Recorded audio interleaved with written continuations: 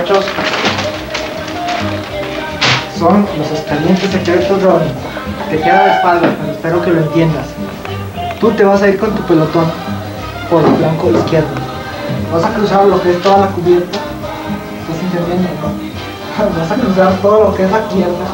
A- Aquí te vas a interceptar con tu unidad. ¿Sí? Le das las órdenes de espera, de espera, que pasas por acá. Aquí te vas a estar esperando el pelotón de Paulina y Mayra. ¿Sí? Ellos van a llegar por el flanco derecho con su unidad. ¿Sí? Necesito confiar en ti. Eres mi mano derecha.